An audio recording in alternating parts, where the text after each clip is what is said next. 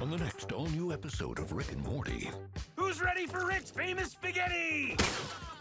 I love Spaghetti Thursday. Oh my god, Ricky! It's like it's better every time! Hell yeah, you like that? That's uh, some good spaghetti. This noodle is so tender. Oh, spicy or sweet. Sauce? More sauce? Oh, we got the sauce. Dad, you had a job interview, right? Bombed it, but it's nothing a little bolognese won't cure.